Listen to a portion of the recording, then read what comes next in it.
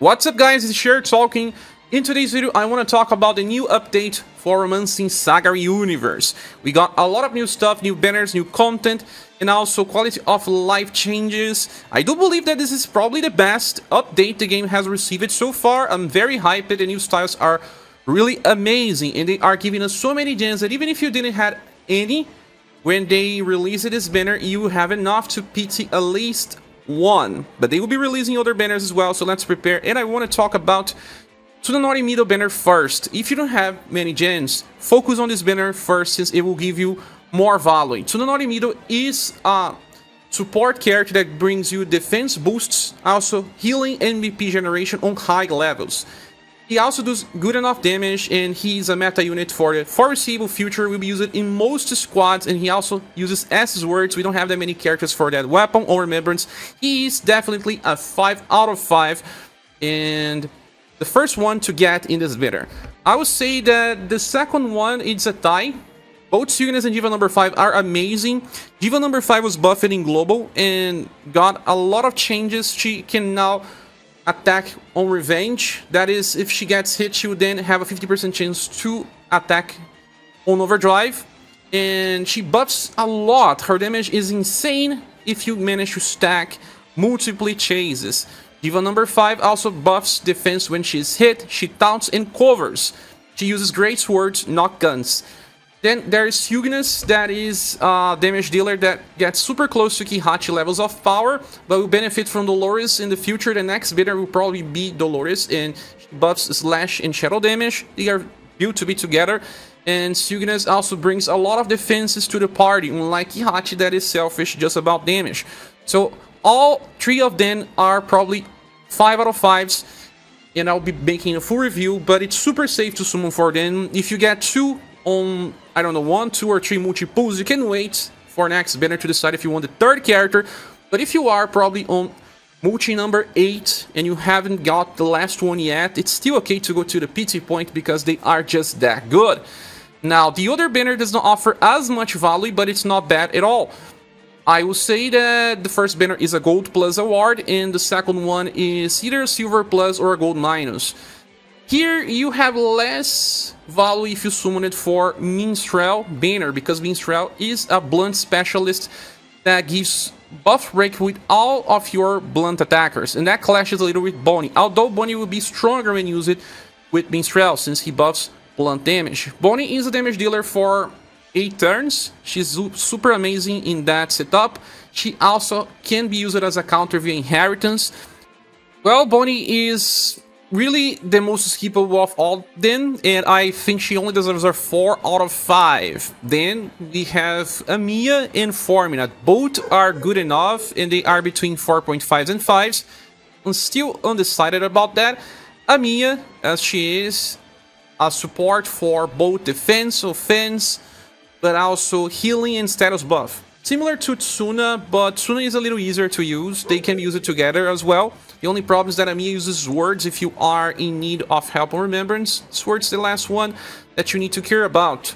And Formina is a tank counter with blunt damage and she counters the more the enemy attacks her. And she also buffs defense boost when she is hit, much like Diva number 5 also does. I do believe because of some clashing in these banners, if you don't have any gems, like I said, Tsunanori Mido banner is better, since you can get support, defense, and healing with Tsuna, and also the defense support that Formina provides, without the counter, but with something similar with Diva. But if you are a collector and you like the characters, you can pull for both, there's no mistake. We just know that there are more Saga Emerald Beyond banner coming, and if you are a free-to-play player, you need to is marked with your pulse. And the next winner is probably Dolores, like I said, and she is a very useful style for remembrance, but for hard challenges and to improve Siugnas's potential. With that said, we have more stuff to talk about. For example, we can now uh, summon with tickets for old premium styles, and that is amazing. Although it takes a lot of time to get those tickets, if you click on summon details, we have 5% chances don't you like the premium pools?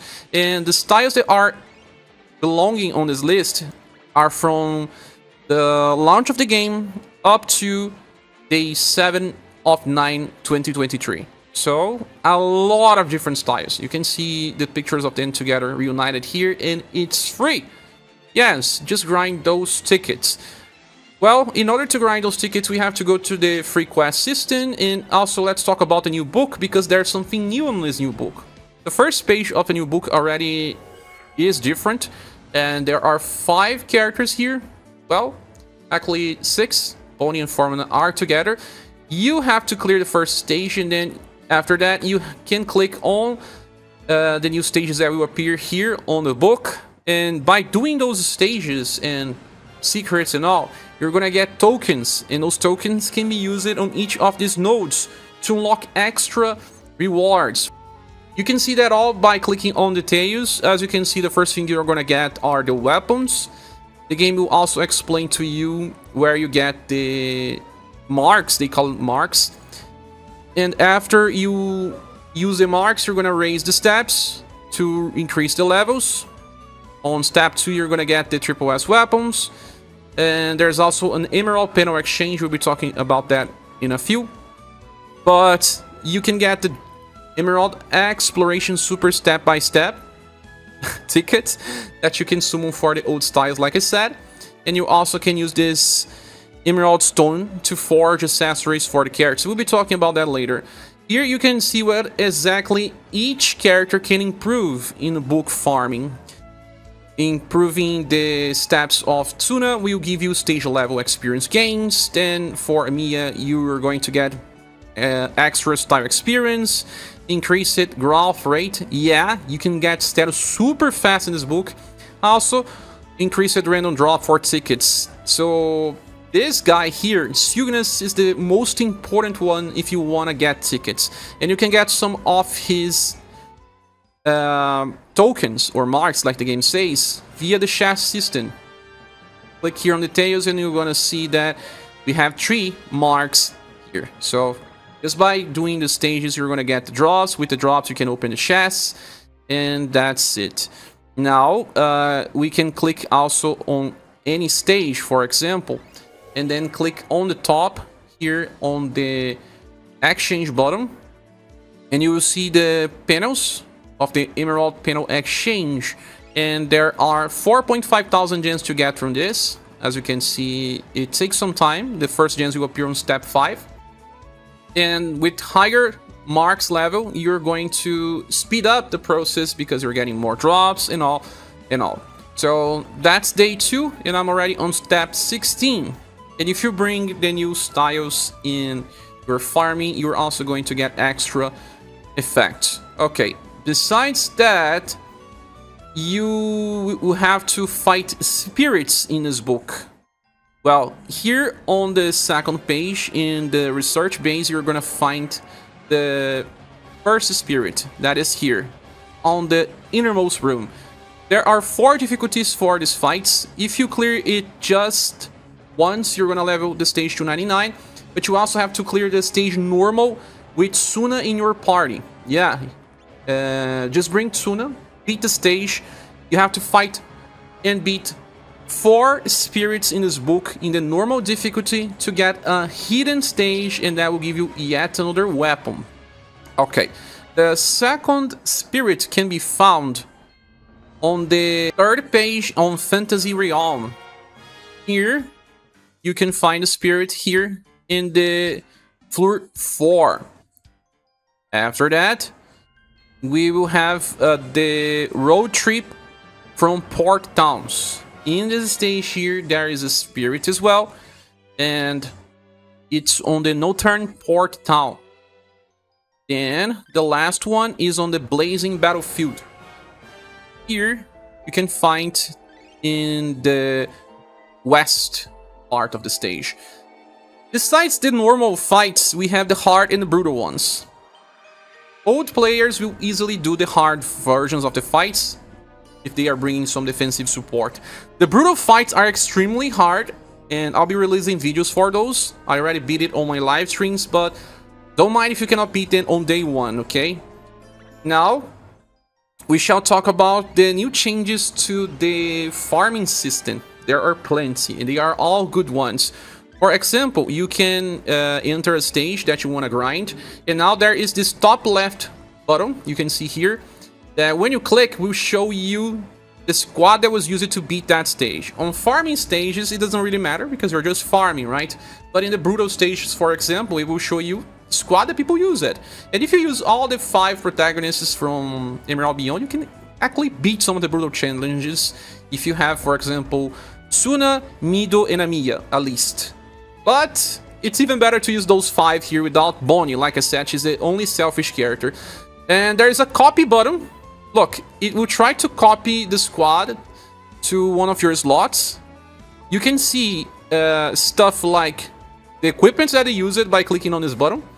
In this case, you can see that it's probably a new player because they didn't have anything besides the main equipment's equipment. Uh, there's also the most used styles tab that you can see the styles that have been used to clear the stage with Tsunanori Mido and Diva being on tops, usually. And there is also cumulative last week information. Then you can see also the most useful attackers, defenders, supporters, and jammers. That's pretty interesting because now people can actually communicate inside the game without really having to type anything. Okay, but there's more quality of life stuff. Let's go into this stage, boat trip, because here we have a spirit fight. Now, let's enter it. And on the bottom left gear icon, if you click, you can see many options. For example, battle settings, you should leave this verified.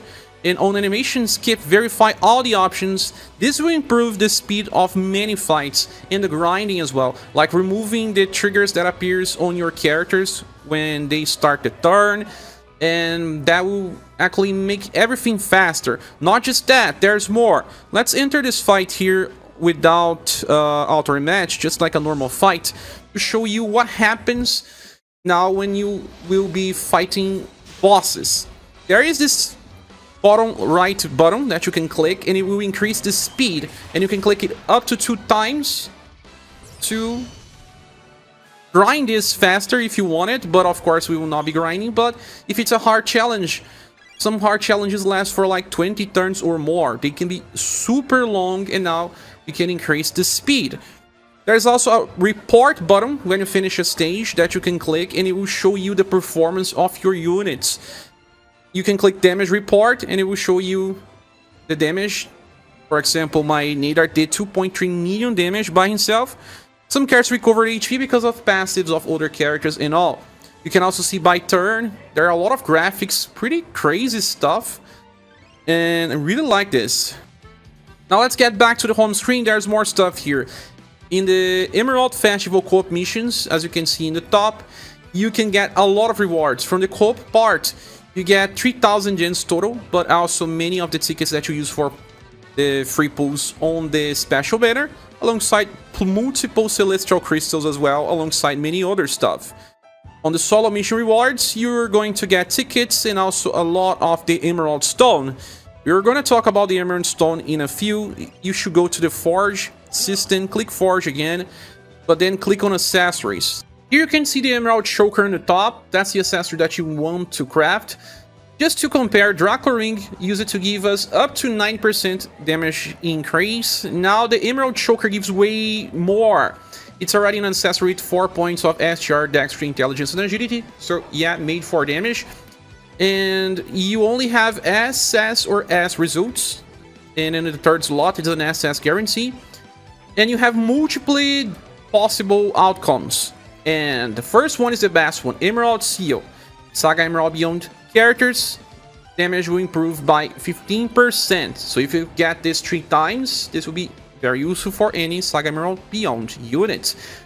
But all the other series can only reach 12%. There's even a version of that for Saga Emerald Beyond, but for then you prefer the first one. You're gonna have to forge this multiple times to get your desired outcome and save multiple versions of the accessory. I don't really like the system, but it is what it is. Now, we also have something else when you click on the dojo bottom.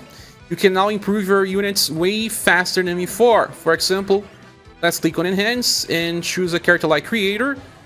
Now, here we have this one-tap Enhance button.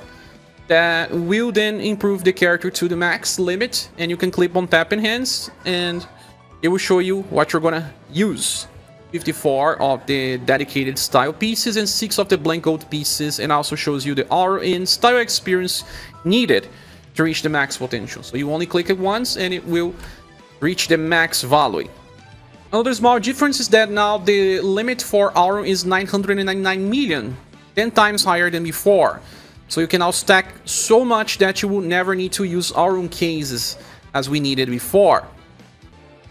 Well, besides that, the last addition was a new fight on Remembrance Battles.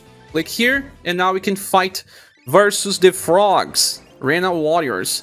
And it's actually a pretty interesting fight. You're gonna have to use AoE attacks or row attacks in order to hit all of the Ren Warriors. They mostly attack with blunt lightning and cold damage, but one of them also has shadow attacks. They can inflict ailments, but I didn't get inflicted with ailments in my run. And you need a lot of defense support to survive. But I'll have dedicated videos for all of those fights. I guess that's it, guys. There's also the home screen missions like always, but that happens with all updates. There are plenty of gens to get from home screen missions, from daily logins, and there's more content to come. It's a good moment to celebrate the game, and if you want to start the game right now, it's a very good moment. You can pull for Minstrel Banner, that's still a very useful one, and then pull for the new ones, and farm tickets to get old styles that will help you with remembrance fights and some specific series challenges. Even though they are not as good as they were in the past, it still helps. I believe that right now is the best moment to reroll and start a new account if you have not been playing this game for too long or if you are coming from different ones like FFBE. So, thank you so much for watching this video. Hope this can help you. Click the like button if you can. And if you want to support the channel, there's also a link in the description. I hope to see you soon on the next one. Goodbye.